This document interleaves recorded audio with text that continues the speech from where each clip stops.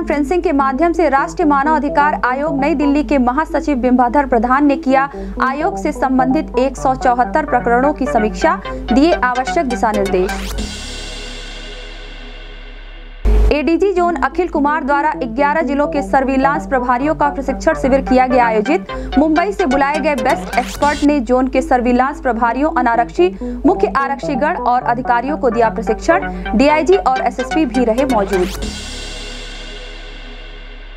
जिलाधिकारी की अध्यक्षता में संपन्न हुई जिला टास्क फोर्स समिति की बैठक। स्वास्थ्य विभाग की विभिन्न योजनाओं की की गई समीक्षा। डीएम ने कहा, एक मार्च से शुरू होगा दस्तक अभियान। कोतवाली थाना क्षेत्र के आर्य नगर के समीप गंगे चौराहा निवासी अमित कुमार जायसवाल ने कहा, तीन दिनों से लापता है छोटा भाई, तलाश के लिए अधिकारियों से लगाई गुहार। कोरोना वैक्सीनेशन में शुक्रवार को पिछले सभी टूट गए रिकॉर्ड 100 फ़ीसदी से अधिक हुआ covid vaccination. CMO doctor Sudhakar Pandey समेत 2110 स्वास्थ्य कर्मियों और चार सौ उनतीस छूटे हुए स्वास्थ्य कर्मियों और फ्रंट लाइन वर्करों को लगाया गया टीका।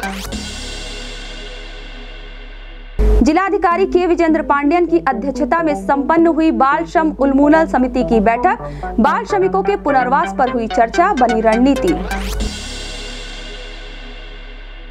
गोरखपुर में शुक्रवार को मिला मात्र एक नया कोरोना संक्रमित मरीज़। ज़िले में कोरोना संक्रमित मरीजों की संख्या हुई इक्कीस अब तक तीन कोरोना संक्रमित मरीज़ गवा चुके हैं अपनी जान।